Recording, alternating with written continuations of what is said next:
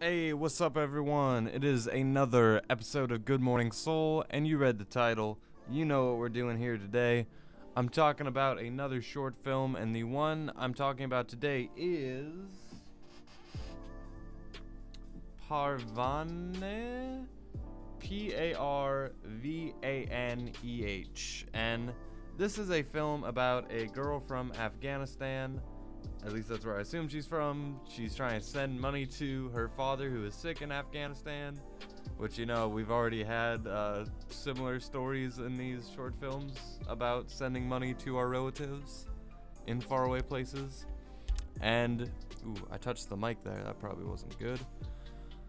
And basically, she's like kind of stuck trying to send the money. She's not of age. They're not going to let her send the money. And she meets this girl because she's trying to beg people to send her money for her. And she meets this girl who is kind of like this punk teenage kid, party girl, whatever. And you know, see her like kind of already starting to adapt to this like newer lifestyle to her. You know, she's an Afghan immigrant and she's already taken off her shawl, uh, which is you know a big fucking deal. Uh, you know, and we see her mingling with other members of society.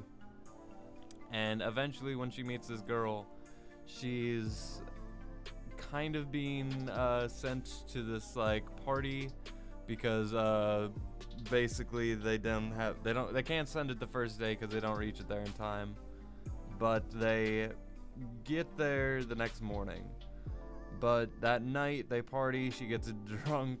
Uh, there's this guy that hits on her, and she's like, she doesn't want any part of it. The guy steals her money that she's gonna send for her family, so they track him down and kind of just beat the shit out of him. Just drops a bottle on the back of his head.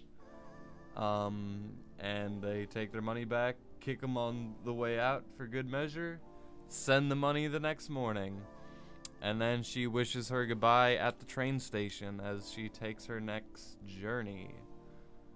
Um, this was a very mild, didn't seem like an Oscar-worthy type short film. It was a harmless film, don't get me wrong. Like, I didn't dislike it. It just felt like, this felt like it would be like a TV pilot or something for like a character who's going to do like I don't know, like some crate, like a different. She goes from place to place or something. I don't know. I don't know. It's so it felt very minimal for a movie that you know it ha- it ran the full like 25 minutes. That's considerable considering the last one I almost gave an 8 out of 10 and that was 13 minutes long. So I really like I felt like it was supposed to be like the story of girl from this world meets this girl from this world and they collage and develop this beautiful friendship. But it was like they knew each other for like a day. They didn't have like amazing chemistry or anything. We didn't get to know that much about either girl, and they didn't really do all that much.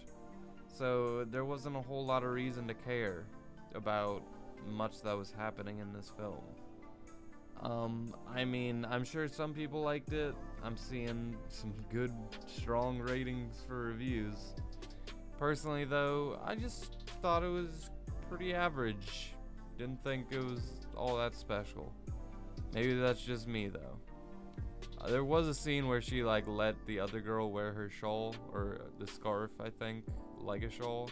It was supposed to be kind of like a symbol of, oh, like, culture blending and stuff like that, but I just felt there was much better ways to get that across.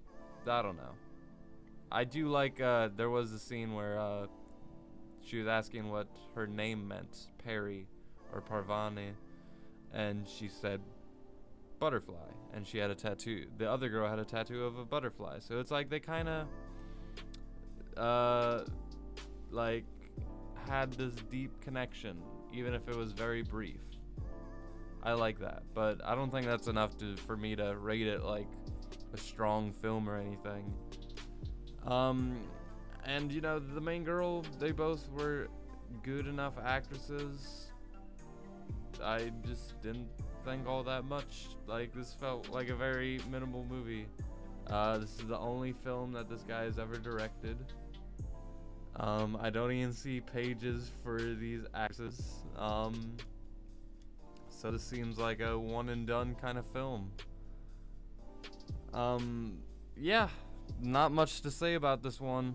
Anyway, thank you guys for watching. Uh, I'm gonna give this one a 5 out of 10.